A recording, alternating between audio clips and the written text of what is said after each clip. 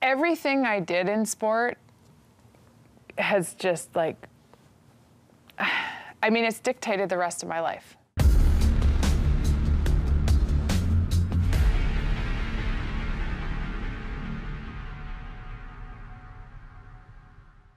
I'm not a person that attaches memories to things. Like my Olympic experiences, many of them ended with medals. Those medals don't define what the experience was. Growing up, I got into a lot of trouble. Let's just say I was an Olympic delinquent. I grew up in a family environment that was really difficult. My dad struggled much of his life with alcoholism. My parents split up when I was nine years old, and my sister and I both basically hit the streets. We both had a lot of issues, drugs and alcohol. That started when I was 12 years old. And by the time I was 16, I wasn't going to school anymore. I was drinking a lot, binge drinking, passing out and, you know, under street posts. Just wanted to self-destruct. And what happened that afternoon in 1988 is I was flipping through the channels, completely bored out of my skull, had a pack of smokes in my pocket, and what I came upon that afternoon from Calgary was the Winter Olympics.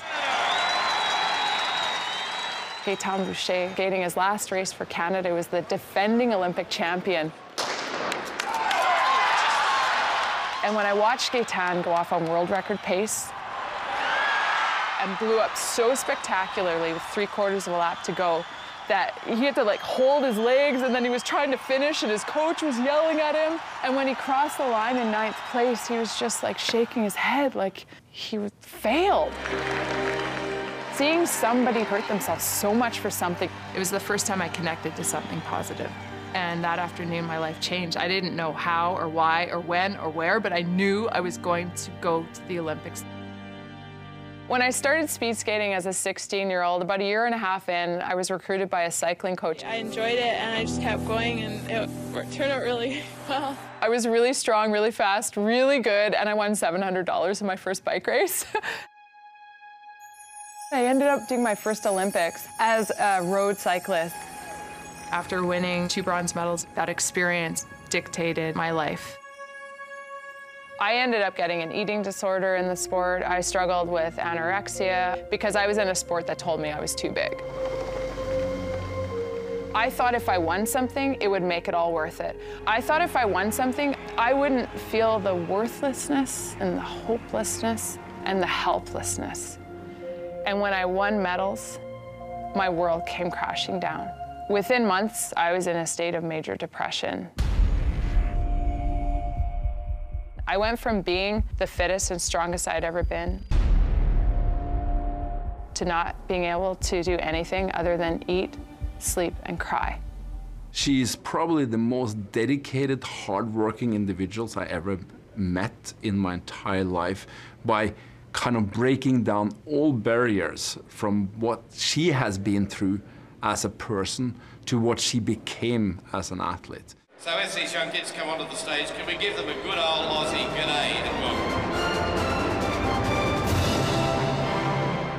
I got the whooping cough about seven weeks before the games and was coughing and choking and, and not able to train. Eight days before the road race, I woke up to the news that one of my teammates had died in a crash. And I remember going to the washroom and looking at myself in the mirror and saying, Who do you think you are? What are you here for? And if you can't do it for yourself, you will do it for Nicole. And I finished in second last place.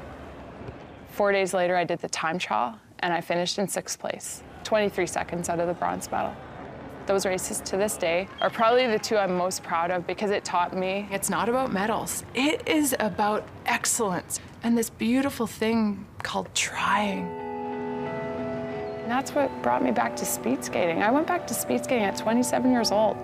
That's like, that's not even possible. I don't have ever seen this in the history of speed skating. Somebody who has not grown up with skates, who doesn't understand how to skate, like learning from your little child. Her determination, her passion for the sport, her love to glide on the ice made her the best in the world in this sport. In seven weeks, I made the national team. In three months, I was top 10 in the world at the World Championships. And 17 months later, I won my first Olympic medal on the ice. Torino 2006 is the only time I won the Olympics.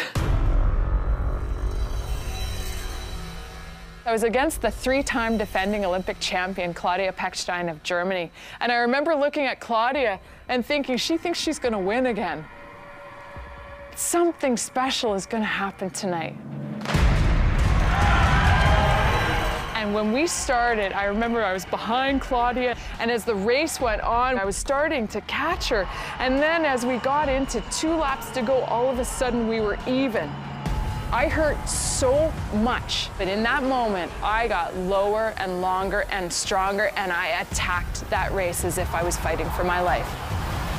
And I remember almost crying from the pain and then getting to the final stretch and throwing my blade and then looking up at the time and seeing six minutes, 59 seconds and change and thinking my teammate skated seven minutes. I just won the Olympics.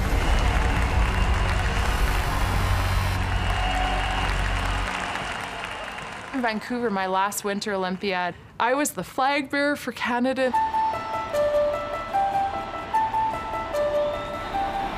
My 3,000 meters finishing in fifth place, and the 5,000 not winning again, but finishing third, but skating better than I ever had in my life. And when I crossed the line, I remember thinking, this is it. I'm done.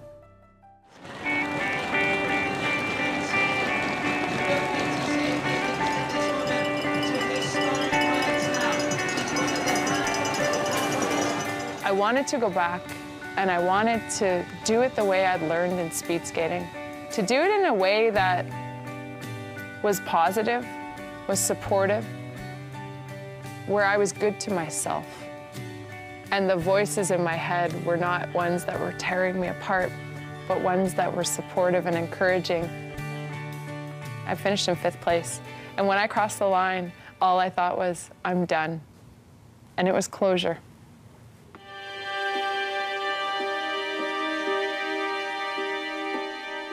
Clara is a real inspiration in the sense that she recognizes her opportunity to give back, that these Olympic medals are, you know, a few inches thick when you stack them on top of each other, but uh, when you stand on top of those medals uh, as a podium for change, your voice gets heard. Former Olympic speed skater and cyclist Clara Hughes trained for this day in some weather that was pretty darn cold. We rode 11,100 kilometers. It was a massive initiative and did over 200 community events, 110 community visits.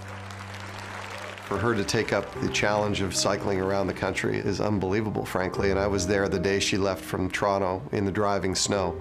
She was, as she always is in that moment, unrelenting and committed to seeing it through, and that's exactly what she did. The ride wasn't about raising money. It was really about raising awareness, and any funds raised stayed in the communities for mental health initiatives. And it's something that you know, I'm still tired from. I still can't believe we pulled it off. And the first time I spoke about depression was in 2011. And I'm going to say it was the most important thing I did in my life. Every single day in my life, wherever I am in the world, a Canadian will come up to me and say, thank you. Thank you for what you've done for mental health. It is no longer about skating or cycling or medals or this or that or that race or that performance. It is about you let me know I'm not alone. And I always say thank you to anybody who talks to me because they're doing the same for me. It's like where I come from, I should never have gone on to do what I did. But if I can do it, so can anyone.